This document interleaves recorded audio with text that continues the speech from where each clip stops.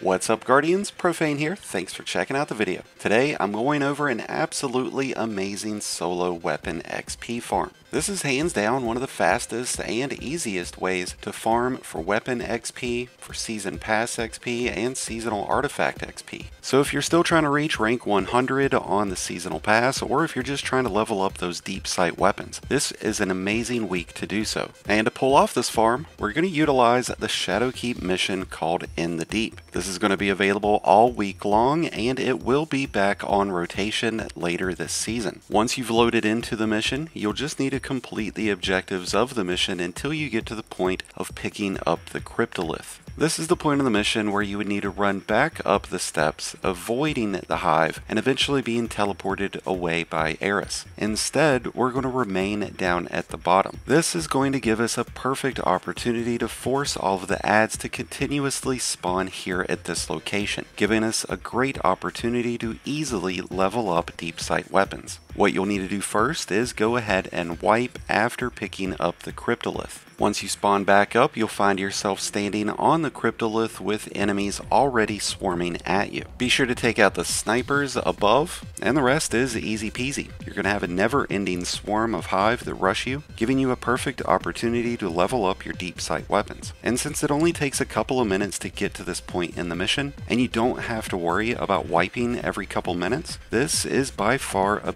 better, more efficient way of leveling up your weapon XP than doing the Shuro-Chi encounter of Last Wish. The only catch is that it does require you to have the Shadowkeep DLC, and it's only available this week. So make sure that you don't miss out on this perfect opportunity to farm for weapon XP, for season pass XP, and seasonal artifact XP. And if you find that life is keeping you away from Destiny, you can also utilize this as a perfect AFK farm. By using one of the many free macros available like Tiny Task, you can set up a perfect AFK farm to rack in a ton of XP. And with that, that's going to wrap things up for today's video. I wish you all the best and luck throughout your weapon XP farming. Let let me know how it's going in the comments below, and let me know what you're enjoying most about Season of Plunder. Thank you for checking out today's video. I hope you've enjoyed and found it helpful. If so, then please be sure to hit that like button below, along with the subscribe button if you're new. Both are greatly appreciated, and both really do help support the channel. If you're in need of help throughout this season, maybe with a raid, a dungeon, or any of the seasonal content, then be sure to check out the Discord link in the description below and join one of the greatest communities in all of Destiny. And until next time, Guardians, this has been Profane, wishing you all some happy hunting.